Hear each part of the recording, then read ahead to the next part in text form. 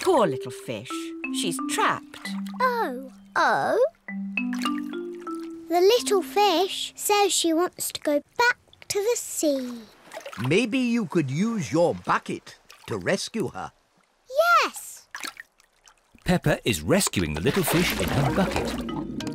Don't worry, Mrs. Fish. You'll soon be back with your friends. Bye-bye, Mrs. Fish. Bye-bye.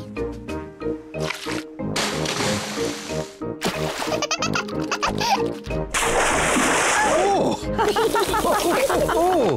I love rock pools.